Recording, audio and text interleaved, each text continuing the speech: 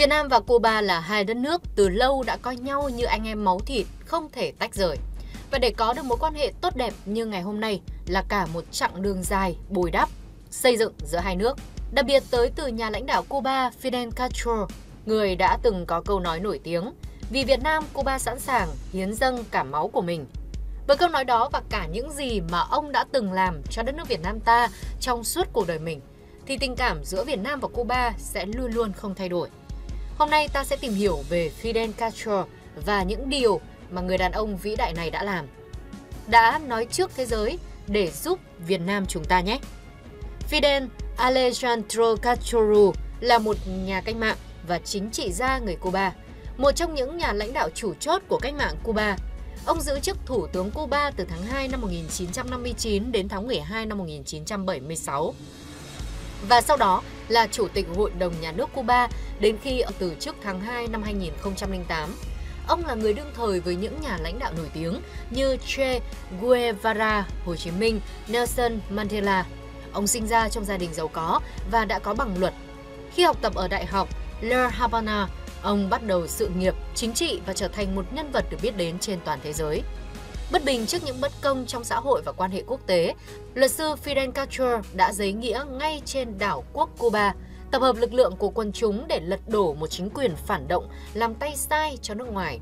Lãnh tụ Fidel sau đó tiếp tục treo lái con thuyền cách mạng Cuba vượt qua bao sóng gió do chủ nghĩa đế quốc gây nên. Bản thân Fidel đã trụ vững trước bao cuộc ám sát do CIA tiến hành. Tiếp đó, phương Tây tiếp tục cuộc chiến tuyên truyền và cấm vận, hòng làm suy yếu tiến đến bóp chết nhà nước Cuba. Nhưng mọi mưu đồ đó vẫn không đánh gục được một Fidel Castro mạnh mẽ, tiên trung, đầy hào sảng. Dưới sự lãnh đạo của Fidel, Cuba dù nhỏ bé nhưng vẫn hiên ngang trước những đế quốc khổng lồ.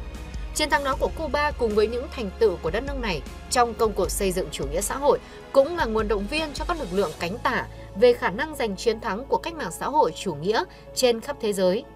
Dù ở cách xa Cuba đúng nửa vòng trái đất, nhưng Việt Nam vẫn được truyền cảm hứng từ sự nghiệp chính nghĩa của nhân dân Cuba với linh hồn là Chủ tịch Fidel Castro. Đất nước Cuba, dưới sự lãnh đạo của Fidel Castro, đã luôn sát cánh với Việt Nam, ủng hộ trí tình cho cách mạng Việt Nam bằng nhiều hình thức khác nhau. Có lẽ trong lịch sử thế giới, chưa có lãnh tụ quốc gia nào như Fidel phát biểu ủng hộ Việt Nam trên gần 100 diễn đàn công khai ở Cuba và trên thế giới liên tục suốt 42 năm, 1964 đến 2005. Ông luôn bày tỏ mạnh mẽ, tình đoàn kết chiến đấu, sự ủng hộ hết lòng của cá nhân và dân tộc mình đối với sự nghiệp chính nghĩa của Việt Nam. Quốc gia cách nửa vòng trái đất mà trước đó chưa hề có băng giao. Những năm 1960, Cuba gặp khó khăn về kinh tế khi Mỹ bắt đầu cấm vận nước này. Khi có kẻ xấu tố Cuba gửi đường sữa cho Việt Nam trong lúc người dân Cuba thiếu thốn những thứ này, Fidel Castro đã đăng đàn phát biểu với hàng chục vạn quần chúng tại thủ đô Cuba rằng Điều đáng tiếc là chúng ta không có đủ đường sữa để gửi cho nhân dân Việt Nam. Ông thậm chí nhấn mạnh, cả máu chúng ta cũng sẵn sàng hiến dâng cho nhân dân Việt Nam. Trước lời tuyên bố dõng dạc đó của ông, những tiếng vỗ tay và tiếng hô vang Việt Nam muôn năm, Việt Nam nhất định chiến thắng đã bùng lên trong biển người trước mặt. Ngay từ ngày 2 tháng 12 năm 1964, Fidel đã sớm cảnh báo đế quốc Mỹ thực tế đã bị đánh bại nhưng vẫn hung hăng dọa dẫm tuyên bố mở rộng chiến tranh, đe dọa can thiệp vào miền Bắc Việt Nam. Thực tế đã xảy ra như vậy. Chỉ 3 tháng sau, tháng 2 năm 1965, Mỹ đánh phá miền Bắc và tháng 3 năm 1965 đổ quân vào miền Nam.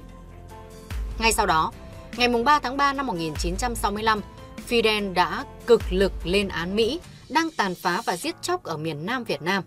Miền Bắc Việt Nam phạm các tội ác không thua gì tội ác của Hitler – ném bom ồ ạt đất nước không ở trong tình trạng chiến tranh với chúng. Chúng ta tiếc không ở gần miền Bắc Việt Nam hơn, giúp họ với tất cả những gì chúng ta có. Tất cả các nước xã hội chủ nghĩa có nghĩa vụ không thể thoái thác là ủng hộ và giúp đỡ nhân dân Việt Nam. Và chỉ sau 10 ngày, ông lại tố cáo Mỹ đang lợi dụng sự chia rẽ của những người cách mạng, lợi dụng sự bất đồng đáng tiếc của phe xã hội chủ nghĩa để đàn áp phong trào cách mạng ở miền Nam Việt Nam, ném bom miền Bắc Lập trường của chúng ta chỉ có một, đó là phải dành cho Việt Nam tất cả sự hỗ trợ cần thiết, phải hỗ trợ bằng cả vũ khí và con người. Phe xã hội chủ nghĩa phải chấp nhận tất cả mạo hiểm cần thiết vì Việt Nam.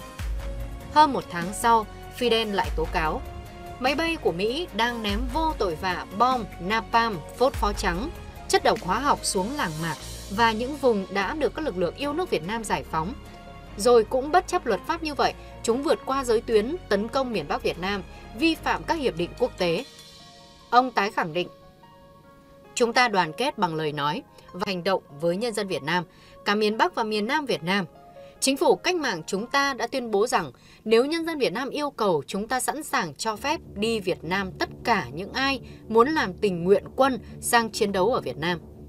Ngày 13 tháng 3 năm 1966, Fidel lại khẳng định, chúng ta cho rằng khi Việt Nam bị tấn công thì sự chia rẽ trong phe xã hội chủ nghĩa đã phải ngừng lại. Phải chăng cho Việt Nam mọi sự hỗ trợ về lực lượng phòng không và không quân để bảo vệ chủ quyền của Việt Nam, biến miền Bắc Việt Nam thành nghĩa địa máy bay Mỹ? Không chỉ là nguồn cảm hứng, Cuba còn trực tiếp tiếp sức cho nhân dân Việt Nam trong cuộc đấu tranh giành độc lập. Cuba chính là nước đầu tiên công nhận Mặt trận Dân tộc Giải phóng miền Nam Việt Nam tháng 12 năm 1961. Nước đầu tiên lập Ủy ban đoàn kết với Việt Nam tháng 9 năm 1963 và nước lập sứ quán bên cạnh Mặt trận Giải phóng tháng 7 năm 1967. Cuba lấy năm 1967 làm năm Việt Nam anh hùng, rồi lấy ngày 28 tháng 8 năm 1972 làm ngày đê điều sau khi Mỹ mở chiến tranh phá hoại miền Bắc bằng không quân nhằm vào cả hệ thống đê điều của miền Bắc Việt Nam. Khi ấy, Fidel khẳng định tình đoàn kết của Cuba và niềm tin của Cuba vào nhân dân và lãnh đạo Việt Nam là vô điều kiện và tuyệt đối. Và một điều đặc biệt nữa, vào tháng 9 năm 1973, đích thân lãnh tụ Cuba Fidel Castro đã tới thăm khu giải phóng của Việt Nam ở tuyến lửa Quảng Trị. Chiến tranh Việt Nam lúc đó vẫn đang khốc liệt và sẽ còn kéo dài thêm 2 năm nữa. Lãnh tụ Fidel là lãnh đạo nước ngoài cấp nhà nước đầu tiên và duy nhất thăm vùng giải phóng miền Nam Việt Nam khi chiến tranh chưa kết thúc. Hình ảnh ông Fidel cao lớn mặc quân phục, phất cao cờ của quân giải phóng, đứng sát bên bộ đội Việt Nam có giá trị khích lệ rất lớn đối với đồng bào, chiến sĩ cả nước ta khi ấy. Fidel luôn có một niềm tin vững chắc vào thắng lợi cuối cùng của nhân dân ta. Trong một cuộc meeting quần chúng vào ngày 30 tháng 7 năm 1972, Fidel đã tuyên bố, chúng ta tin vào thắng lợi của nhân dân Việt Nam và ngày càng thắng lợi lại càng đến gần. Chúng ta đang chứng kiến những sự kiện cuối cùng. Rõ ràng giờ đây Việt Nam đang và sẽ là một đất nước cần tình đoàn kết quốc tế nhất, không chỉ bởi bây giờ mà cả khi giành thắng lợi. Khi xây dựng lại đất nước đã bị bom đạn tàn phá với các hố bom có ở khắp mọi nơi. Chúng ta vui lòng thiếu đi một trường hợp, một bệnh viện hoặc thiếu đi hai, ba hoặc số lượng thiếu cần thiết để giúp xây dựng ở Việt Nam. Khi kết thúc chiến tranh Việt Nam-Cuba dưới sự lãnh đạo của Fidel Castro lại nhiệt thành ủng hộ Việt Nam gia nhập tổ chức Liên Hợp Quốc. Không dừng ở những lời nói và những chuyến thăm, Cuba và Fidel đã nhiệt tình giúp đỡ Việt Nam bằng cả vật chất cụ thể. Cuba dù đang bị cấm vận nhưng không hề tiếc đường và thuốc men viện trợ cho Việt Nam trong hoàn cảnh khó khăn của nước ta, đây là những viện trợ thiết thực và hết sức quý báu. Đúng như câu nói cửa miệng của người Việt, một miếng khi đói bằng một gói khi no. Không những vậy, Cuba đã tặng Việt Nam các công trình trọng điểm có tổng trị giá lên tới khoảng 80 triệu đô la, gồm khách sạn Thắng Lợi ở Hồ Tây Hà Nội, Bệnh viện Việt Nam Cuba ở Quảng Bình, đường Xuân Mai, Sơn Tây, trại bò giống Ba Vì và xí nghiệp gà Lương Mỹ. Ngoài ra Cuba còn hào phóng tặng bò giống và gà giống cho Việt Nam đồng thời cử chuyên gia về cầu đường sang Việt Nam mở rộng đường mòn Hồ Chí Minh, giúp đào tạo nhiều sinh viên Việt Nam. Bản thân Fidel Castro trên cương vị lãnh đạo nhà nước Cuba, sau này còn tới thăm Việt Nam thêm hai lần nữa vào năm 1995 và 2003. Các sự kiện này cho thấy tình cảm chân thành từ con tim của Fidel Castro nói riêng và nhân dân Cuba nói chung dành cho Việt Nam. Bằng cả lời nói và hành động, Cuba và Fidel Castro đã coi cuộc đấu tranh của nhân dân Việt Nam như của chính mình, xem việc giúp Việt Nam như giúp chính mình. Mối quan hệ giữa Cuba và Việt Nam vì thế vừa là tình đồng chí, vừa là tình anh em thủy chung son sắt đã được thử thách qua thời gian. Video đến đây là kết thúc rồi, cảm ơn các bạn đã xem nhé. Nhớ like và nhấn nút đăng ký để nhận được thông báo khi có video mới nhất từ bọn mình nhé.